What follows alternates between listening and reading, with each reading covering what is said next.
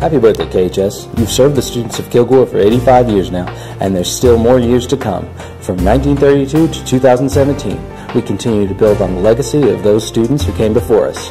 Our focus has always been on keeping our traditional roots as well as raising the standard for all our students.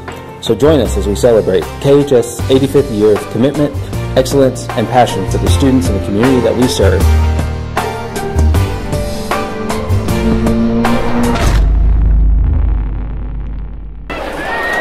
KISD, established in 1906, began in the old Alexander Institute in downtown Kilgore. And as the town grew and the oil boom hit, there became a need for a larger facility. Construction for the building now known as KHS started in 1932, 85 years ago. Many Bulldogs have walked these hallowed halls.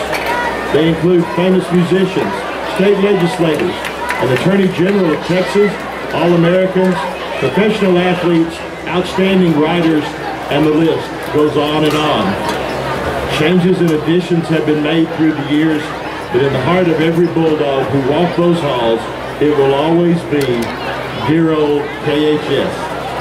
Happy birthday to a beautiful lady. We're proud to call you our alma mater. Presenting the Hi-Stepper officers, Lieutenant Callie Slater, Lieutenant Sidney Bates, Lieutenant Jaden Mankins, Lieutenant Rachel Clower, and Captain Avery Gorman.